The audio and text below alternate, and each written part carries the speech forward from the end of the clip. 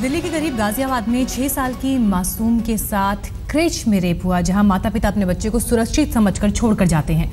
इसी क्रेच में बच्चे के साथ ही अनर्थ हुआ। इस घटना के बाद संचालक के आरोपी ससुर को गिरफ़्तार कर लिया गया है। इस घटना से क्रॉसिंग रिपब्लिक में लोगों में गुस्सा है। संवाददाता प्रमिला दीक्षित की रिपोर्ट देखिए। गाजियाबाद की पॉज सोसाइटी में एक बच्ची के साथ बलात्कार होता है लेकिन रेप जहाँ पर हुआ क्रच चलाती थी जो संचालिका उनके ससुर ने किया। इसीलिए सवाल इससे भी उठ रहे हैं कि ये क्रच बिना रजिस्टर्ड किस तरह चल रहा था और क्या उस महिला को बिल्कुल अंदाज़ा नहीं था कि यहाँ पर जो कुछ हो रहा है बच्चे सुरक्षित है या नहीं।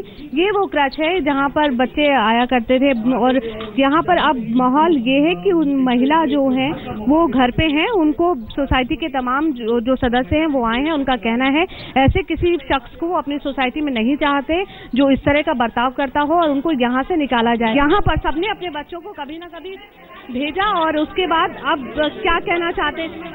सबसे सबसे बड़ी जिम्मेवारी लेडी की है। जिसने चला रही है।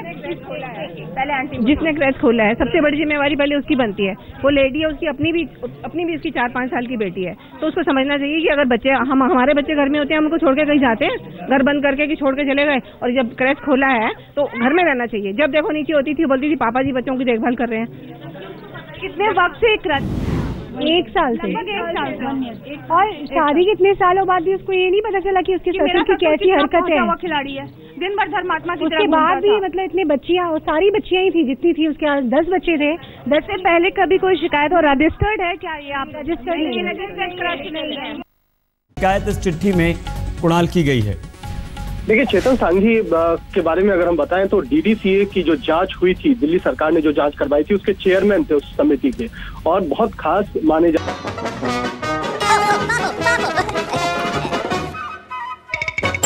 Hmm.